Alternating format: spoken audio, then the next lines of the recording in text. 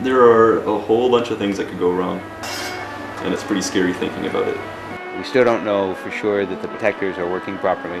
The parachute won't open because there's not enough air to open up the parachute at that altitude. Perhaps we'll end up finding that the telescope is not in good focus.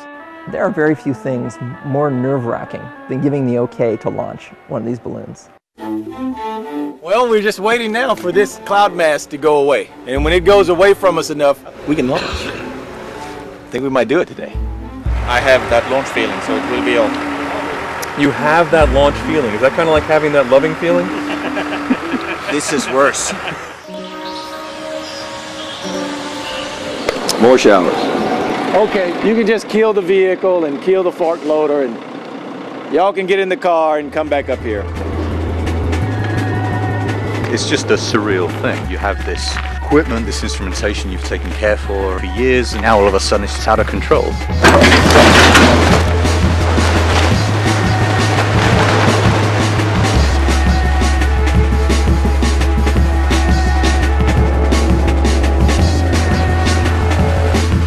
The entire campaign is now sitting on a hard drive, which is out in the middle of the uh, snow. And if those don't work, then that's it. Because it's such a remote location, this recovery is going to be far more difficult than I had anticipated. In fact, we have a polar bear spotter. Oh yeah, yeah, definitely get a polar bear. One, two shots, it'll take it down. We do know that the telescope was damaged, which uh, effectively just made it out of focus. As soon as we got back, we said, well, we, we need to go again. Huge amount invested, and we need to fix this and, and get it right. We expect to be in Antarctica within a few weeks. We're going to the ice. Antarctica.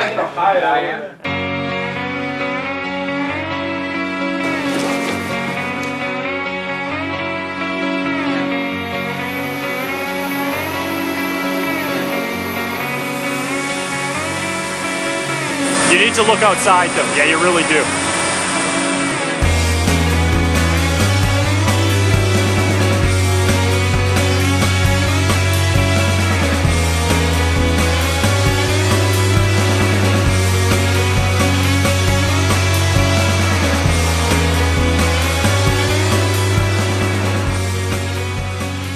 This is the most overqualified workforce in the world here in Antarctica. We got PhDs that are washing dishes, we got lawyers that are vacuuming, because there's no place like this in the world. No place at all. I think we're basically right on schedule with everything. So we'll continue testing the thing and look for problems.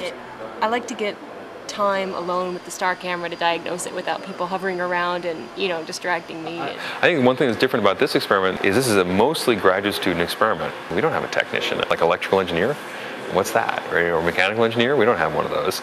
Most of the people doing the work here are, are students. You might say that's a little foolish, but on the other hand, one of our missions is to train people, right? I mean, how do people learn how to be scientists? They've got to do it. They can't just go to class and learn how to do this. You got to do it.